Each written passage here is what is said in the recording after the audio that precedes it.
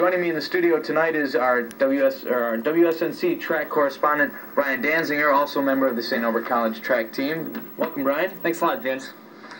Well, looking in the year on the St. Norbert College men's and women's track team, there have been a lot of debates about the quality of the team and also the depth of the team.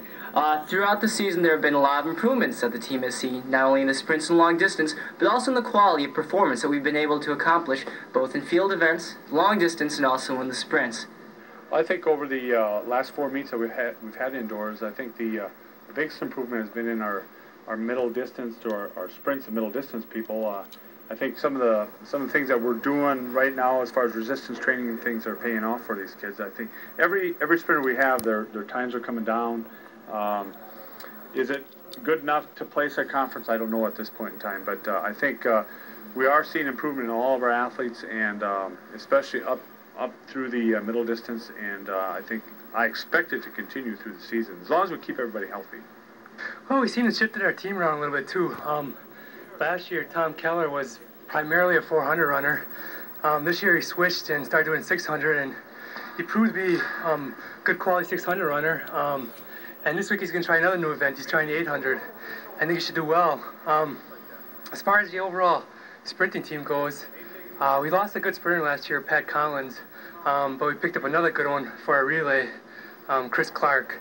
he's a good, solid runner. He's really good with the short distance. Um, we lose Pat from the 400, but picked up Steve too, and Steve's a good 400 guy. So our sprint sprinting team stayed pretty much the same, except we shifted around a little bit, which improved our team. And as you can see, the coaching staff and also Mr. Nimmer state that the track team has taken great strides in improvement throughout the season for the conference championship. Not only have there been improvements, as they have stated in the records that have been accomplished at the St. Norbert track team, but there have also been some possibilities for national qualifiers, both with Todd Miller, Tom Keller, and also the 4x400 relay team? Uh, well, I think the team's been focusing uh, very well. Uh, we've been stepping up the practices a little bit, especially with the Green Knight winning the Green Knight invite.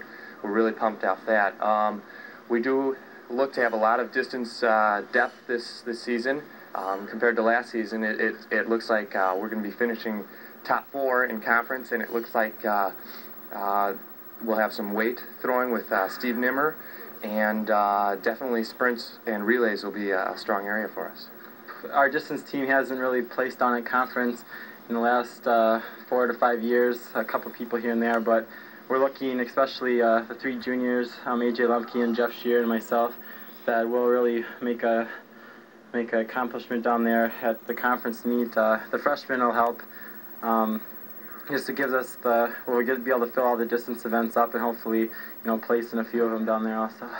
And as Brian Blaha had suggested, the long distance team has shown great strength from their uh, state private school championship that they achieved in the cross country meets. The long distance team, which is anchored by the three juniors, AJ Lemke, Jeff Shear, and Brian Blaha, who are three time letter winners in cross country and also in the SNC track team, have accomplished something that has not been done in the St. Norbert track team for 10 years, and that is to place in a conference meet. One of the problems, though, with the team has been depth, but the inclusion of freshmen such as Todd Miller, Chris Clark, and also Steve Pahowski, uh, the third leg of the 4x400 relay team, they're having great strides not only in the improvement of the team's quality, but also in areas to be able to add certain field events and also the quality of the events that have been run. Um, well, at first I was kind of surprised of the turnout. I thought there'd be a lot more people. But I think that with the smaller group that we have, we can work harder together I think we have some good experience on this team, and I'm just glad I'm able to run it at this type of level. Well, it feels real great. Um, I've made a lot of improvements since last year, and uh, I'm really excited about it.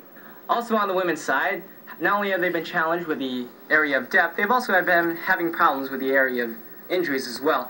Jennifer Lashinsky and Claire Baggett have been having leg problems throughout the season. Plus, on the long distance side, Becky Murphy and Anna Rose Wallace have been having problems with their ankles and shins. Um, we have several very good athletes. Uh, I think what we do lack is depth.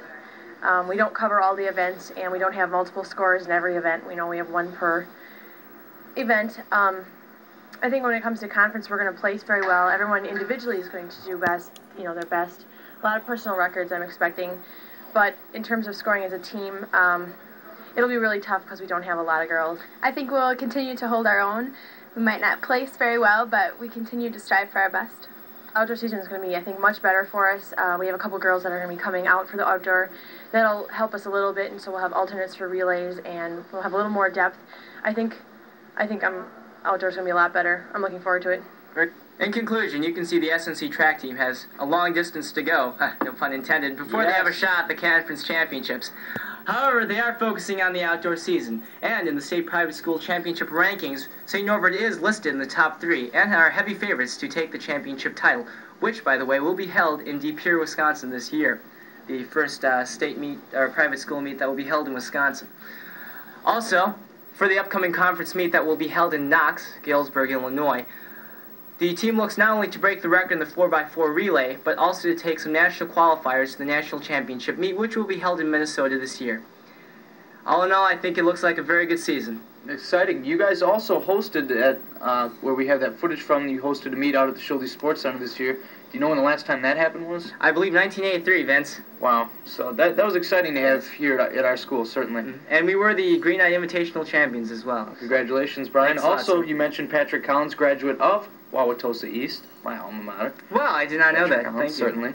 An outstanding football player as well. Quite. Anyway, enough rapping about the alma mater. We're going to go out to commercial. When we come back, all kinds of more stuff going on here on WSNC TV's Sports Expo.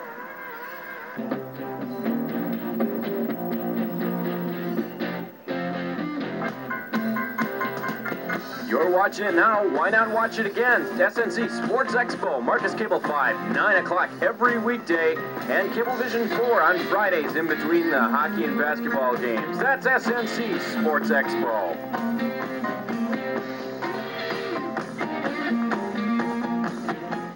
Take a look at Dino. He now sports the Fort Howard Shell colors.